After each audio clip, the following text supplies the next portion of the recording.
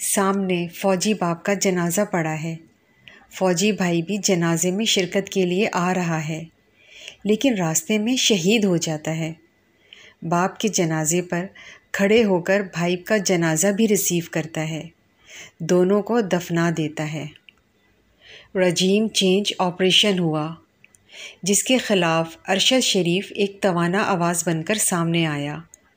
अरशद शरीफ का सवाल कि वो कौन था? इतना ज़बान जद आम हुआ कि एक धीमी सी मुस्कुराहट के साथ पाकिस्तान छोड़ना पड़ा।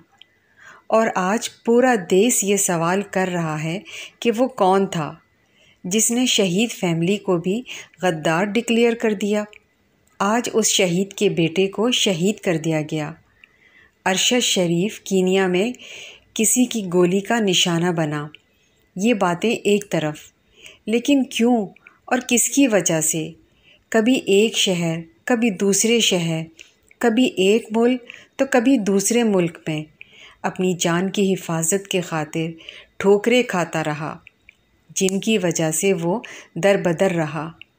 वही लोग उसके कातिल हैं, लेकिन बुजदिल इतने हैं कि ताकत के बावजूद खुलकर तस्लीम नहीं करते।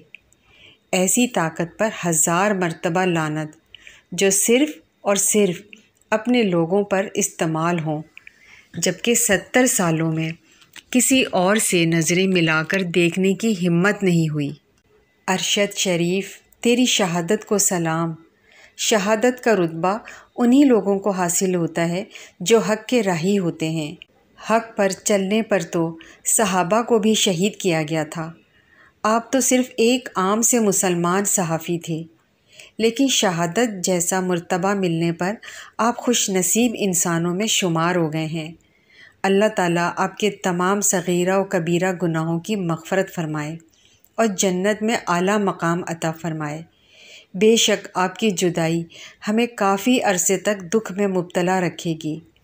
नामवर सहाफ़ी अरशद शरीफ की शहादत इंतहाई अफसोसनाक वाक़ है। पाकिस्तानी, समाजी ज़बान बंदी और घुटन का शिकार हैं। इस सानहा ने एक मर्तबा फिर इस गूँगे समाज में बहुत से सवाल को जन्म दिया है। ये पहला वाक़ नहीं कि आज़ाद राय रखने वाले पाकिस्तानी जो जिला वतनी की ज़िंदगी गुजार रहे हैं, उन्हें बैरून मुल्क कत्ल कर दिया गया हो। बिल आखिर मेरे बेटे की जान ले ही ली।